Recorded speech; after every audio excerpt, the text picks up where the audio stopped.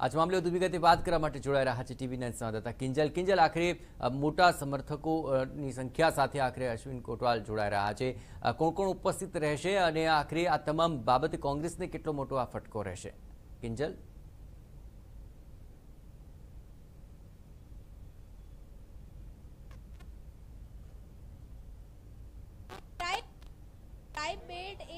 લગભગ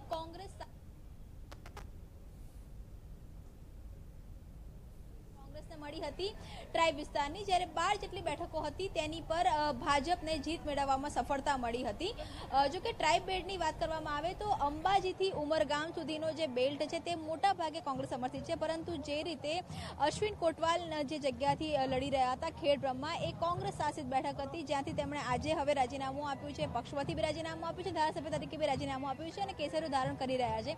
ક્યાંક ને ક્યાંક ભાજપ છે, એ પોતાની સ્ટ્રેન્થ છે, તેને મજબૂત કરવાનો આ પ્રયાસ છે તે કરી રહી છે, આપ મંચ જોઈ શકો છો કે સીધી રીતે ટૂંક જે સમય આપવામાં આવી રહ્યો છે, બાર વાગ્યાનો જે સમય છે તે આપવામાં આવી રહ્યો છે કે જ્યાં ભાજપ પ્રદેશ ભાજપ પ્રદેશ પ્રમુખ સી પાટીલ તેમની સાથે વાત કરવામાં આવે તો અશ્વિન કોટવાલ અને જે ભાજપના પદાધિકારીઓ છે તે ઉપસ્થિત રહેશે, જે કાર્યકર્તાઓ છે હાલમાં ભાજપના તે આવી રહ્યા છે અને એક શક્તિ પ્રદર્શનની સાથે જે ચિલોડા છે, ચિલોડાથી એક રોડ શોના માધ્યમથી કહી શકાય કે આવી રહ્યા છે અશ્વિન કોટવાલ અને આ જે સમર્થકો છે. સમર્થકો પણ અહીંયા મોટી સંખ્યામાં પહોંચી ચૂક્યા છે.